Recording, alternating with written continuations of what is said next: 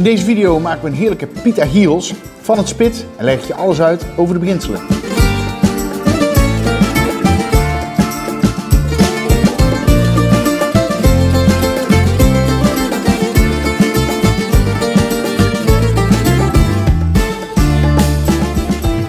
Hoi, ik ben Thomas van het Barbecue Experience Center en in deze video ga ik je laten zien wat de mogelijkheden zijn met het spit. Het is namelijk niet alleen een kippetje grillen, je kan er ook heerlijke nootjes op branden. Je kan er mooie gyros op maken, je kan er zelfs een hele maaltijd in bereiden. Er zijn tal van mogelijkheden met het spit en vandaag ga ik je de basis laten zien. Vandaag ga ik aan de slag met het spit voor de Kamado. In principe heeft iedere barbecue soort zijn eigen spit, eh, maar vandaag gaan we lekker aan de slag met de Kamado. Vandaag gebruiken we de Let's Q en die bestaat uit een aantal verschillende onderdelen. Uh, eigenlijk iedere spit voor de Kamado heeft uiteraard een spitring die ervoor zorgt dat jouw Kamado open staat, maar toch volledig afgesloten is. Een motortje die ervoor zorgt dat de as gaat draaien. Het spit zelf en natuurlijk twee spitvorken waar je bijvoorbeeld een lekker kippetje aan kan klemmen. Uh, maar we gaan vandaag een heerlijke gyros maken. Op het moment dat je met het spit aan het werk gaat, zul je je barbecue iets anders in moeten delen. Het begint allemaal met de houtskool. In plaats van dat je je houtskoolmandje volledig afvult, maak je eigenlijk vanaf het midden ongeveer een klein dammetje omhoog. En gebruik je iets minder dan de helft van de houtskool dat je normaal zou gebruiken. Je maakt een dammetje van houtskool om te zorgen dat je voor je houtskool eigenlijk nog een druippan kan plaatsen.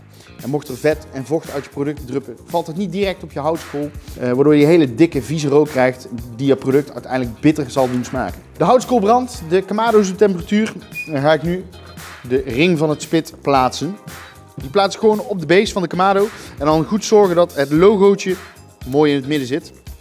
Zou je dit niet doen, sluit de Kamado niet volledig, krijg je valse trek en is de temperatuur van je Kamado niet meer te regelen. Deurtje sluiten en altijd even goed controleren of dat de ring volledig afsluit. Nou, in dit geval doet hij dat. Dan kan ik de motor plaatsen. Uh, de kabel van het motortje is helaas maar een meter, dus zorg altijd wel dat je een stroompunt of een verlengkabel in de buurt hebt. En dan is het nu tijd om ons product, in dit geval de gyros, aan het spit te rijgen. Om mijn gyros eenvoudig te rijgen plaats ik het spit op de ashouder. Hierdoor kan ik hem gewoon op de werkbank zetten. Heb ik twee handen vrij en kan ik heel eenvoudig mijn gyros aan het spit rijgen. De ashouder is een optioneel accessoire. Deze kun je er los bij kopen. Maar het is echt een toevoeging als je veel met het spit aan de slag gaat. Ik heb hier een eh, klein kilootje procureur. Die heb ik gisteren al mooi een dunne plakje gesneden. Vervolgens gerubt met de Big Fat Greek Rub van Angus Oink. Nachtje lekker laten marineren. Dan is het nu tijd om het aan het spit te rijgen. Ik gebruik vandaag een kilootje, maar je kan uiteraard ook 3 eh, kilo, 5 kilo. De motor van het spit heeft een draagkracht van ongeveer 12 kilo. Uh, dus je kan een behoorlijke gyros aan het spit rijgen. Mocht je nou niet zo'n fan zijn van varkensvlees, kun je uiteraard ook een heerlijke gyros maken met kippendijen. Kippendij heeft ook een klein beetje vet, droogt niet zo snel uit en krijg je ook een heel mooi, lekker mals eindresultaat. De lapjes procureur, die plaats ik om en om kruislinks aan het spit, zodat uiteindelijk mijn rol mooi egaal zal worden. Zou je alles in één kant plaatsen, dan ja, krijg je hem toch een beetje een rare vorm, omdat niet ieder lapje uiteraard even groot is. Goed stevig aandrukken. Wat eventueel ook lekker is om ertussen te doen, is tussen een aantal laagjes wat uh, dikke plakken gesneden ui. Maar vandaag hou ik het puur bij vlees. Al het vlees is aangeregen en dan is het nu tijd om de tweede spitvork te plaatsen. Ik heb hier aan de voor- en de achterkant de lange tanden van het spit zitten. Dus met de tweede vork plaats ik deze aan de zijkant. De tweede spitvork ook weer even goed aandrukken.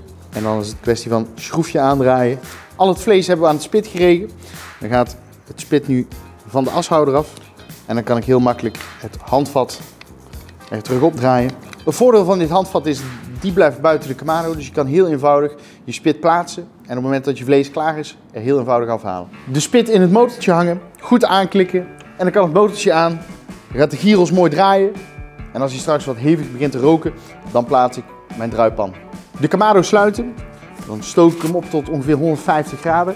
Dan kan hij eerst even rustig op temperatuur komen. Op het moment dat de kern ongeveer 60 graden is, schroef ik de temperatuur van de kamado op richting de 220 en dan gaan we hem lekker afroosteren. Buiten de spitvorken die er standaard bij zitten, zijn er natuurlijk ook nog allerlei andere leuke tools te krijgen. Zoals bijvoorbeeld dit spitmandje.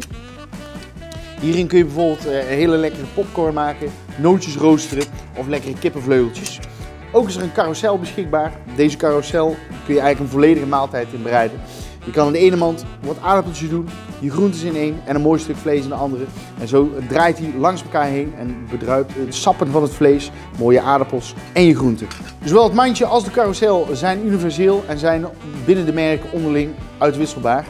En zo kan het Spit on Fire carousel op het spit van Let's Q en kan het mandje van Let's Q op een spit van het Spit on Fire. We zijn anderhalf uur verder. Onze gyros is mooi gegaard. De kerntemperatuur is 73. Dan gaan we het handvat weer eraf schroeven. En dan gaat het spit op de ashouder. Dankzij de ashouder kunnen we op deze manier heel makkelijk het vlees eraf snijden. En dan is die klaar om te serveren.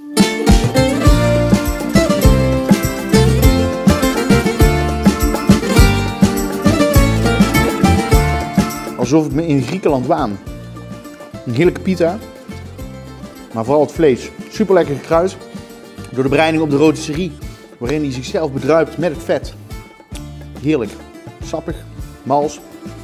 De gyros, die zit erin.